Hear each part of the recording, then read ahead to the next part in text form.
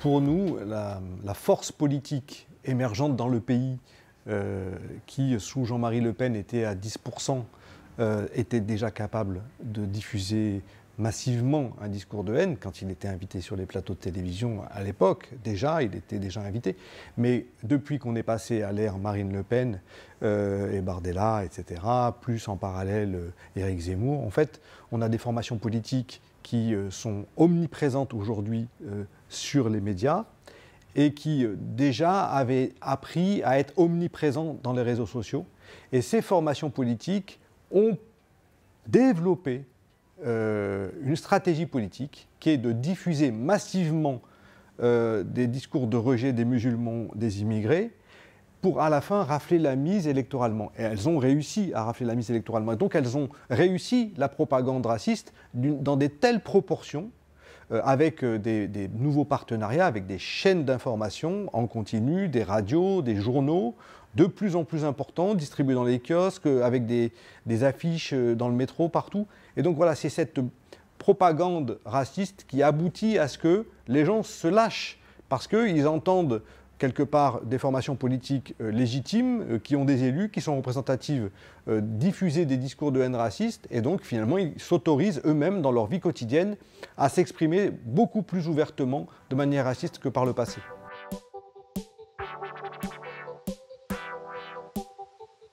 on peut considérer que le principal problème, c'est la motivation des juges ou leur formation, parce qu'ils font beaucoup de fautes techniques pour poursuivre ces infractions. Euh, beaucoup d'incompétence de la part des magistrats, qui oublient de faire des actes interruptifs de prescription, qui ne savent pas qualifier correctement entre l'injure, l'incitation, la haine raciale. Donc la compétence des juges est un problème, mais leur motivation avant tout est un problème. Après, les policiers qui obéissent aux juges doivent être aussi motivés pour cela. Et donc on s'aperçoit que euh, pour un individu, c'est impossible d'obtenir un procès. Et c'est uniquement pour les associations de lutte antiraciste que on met les moyens et les compétences qui vont réparer les incompétences des magistrats et des policiers. Et à partir du moment où il y a une association qui se mobilise, on peut obtenir un procès. Mais là, on arrive à la question des moyens, parce que si l'essentiel des paroles racistes qui sont sanctionnées dans le pays le sont grâce aux associations, par contre, la coupe des subventions aux associations empêche euh, l'action judiciaire antiraciste. Il y a trop peu de procès parce que les associations n'ont pas les moyens d'accompagner chacune des victimes comme elles devraient le faire, puisqu'une victime qui n'est pas accompagnée n'obtient pas gain de cause en matière de procès contre le racisme. Alors, les améliorations, c'est justement en, sachant que les magistrats euh, soit sont débordés, soit sont, sont pas très compétents, euh, eh bien, il faut augmenter le délai de prescription. il faut augmenter le délai de prescription pour pouvoir faciliter les poursuites. Après, il y a aussi d'autres améliorations qui peuvent être euh, données sur euh, le, quantum des peines, en tout cas en termes d'amende, parce que euh, les sanctions ne sont pas assez dissuasives. Donc on peut augmenter le montant des peines d'amende, mais aussi, c'est aussi de la responsabilité des juges de verser beaucoup plus de dommages et intérêts. Et ça, ce n'est pas la loi qui va le changer. C'est les juges qui doivent penser que dorénavant, ils doivent beaucoup mieux indemniser le préjudice moral euh, donc versé aux associations ou versé aux victimes.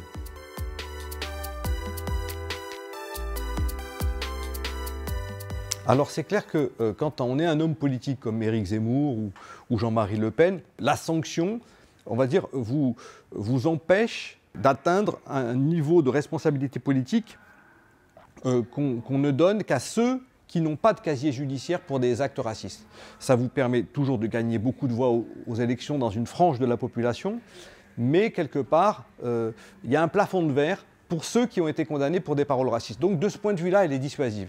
D'une manière générale, pour un individu, euh, sa carrière professionnelle euh, ou sa carrière journalistique va être stoppée s'il a une condamnation pour le caractère raciste. Donc de ce point de vue, il y a une certaine efficacité pour ceux qui ont une ambition politique ou de, briller publiquement, euh, c'est pas bon quand même d'avoir un casier judiciaire pour des paroles racistes.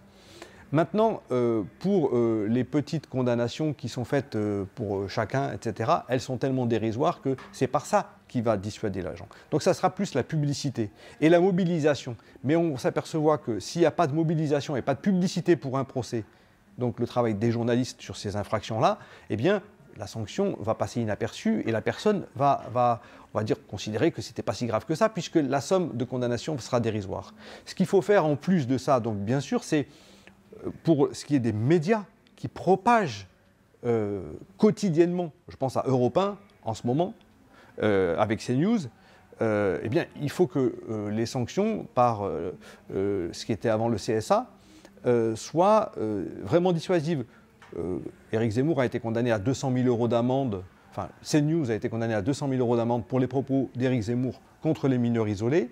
C'est ce type de sanctions contre des, médias qui sont extrêmement riches, qui va pouvoir les obliger à avoir de la régulation en interne. Et de la même manière, si une entreprise laisse passer de la part d'un salarié euh, qu'il s'exprime de manière raciste euh, ou qu'il publie des offres d'emploi discriminatoires, il faudrait que l'entreprise, et pas uniquement le salarié, soit condamné, mais de manière très lourde pour qu'elle s'oblige à faire la police, entre guillemets, à empêcher des comportements racistes, du harcèlement raciste, des publications euh, discriminatoires ou racistes de la part de ses salariés, et, qu'on n'en soit pas ramené à simplement la responsabilité individuelle du salarié qui a commis cette infraction. Parce qu'on arrive à faire sanctionner l'entreprise sinon que lorsque le salarié est représentant de l'entreprise. Là, l'entreprise va être jugée responsable de ce qu'il a fait.